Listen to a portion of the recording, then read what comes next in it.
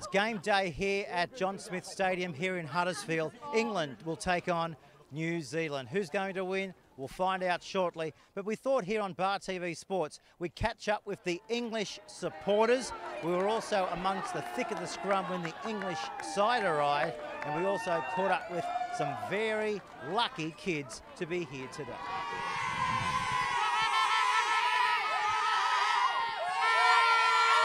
There's the local kids here at the Huntsville Warriors, and who's going to win today?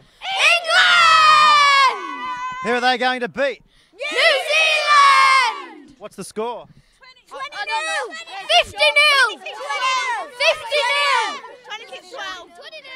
nil! We lost some Burgess! Uh, well, I'm expecting that um, it's going to be a close match because, like, we've got Sam Burgess back from the rugby tour. Everybody loves the Burgess brothers. Well, he smashed all Australia up, hasn't he? So Come on! he'll hopefully smash New Zealand up as well. So hopefully it will be a be a close match. Who do you think will be first try scorer today?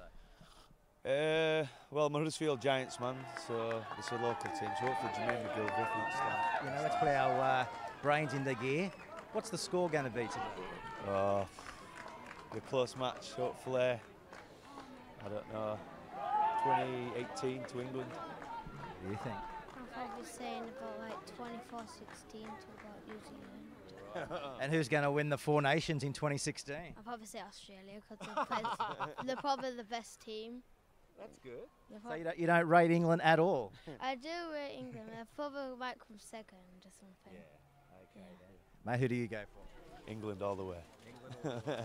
Well, there you go. Well, thanks very much for spending some time with us on uh, Bar TV and, and enjoy the day. Thanks a lot. Thanks.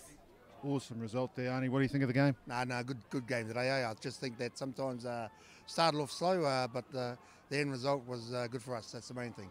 And Jordan Kahu, outstanding. Oh, mate, he was really, really good. Eh? Especially Wellington boy from from Pudiro. Oh no, no, awesome.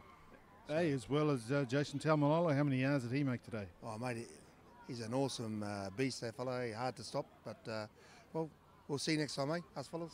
Mate, we had a great day today. New Zealand took out the game. The Four Nations has just come to an end. Unfortunately for England, the home side, they just couldn't get up in the last five minutes. Credit to New Zealand, they got up in their first match here in the Four Nations by 17 points to 16. Next week we'll be off to Coventry, a big double header. We'll be out there to cover England, about to tackle Scotland, while Australia will tackle New Zealand. Until then, we'll catch you next time. Bye. Good luck, Chris.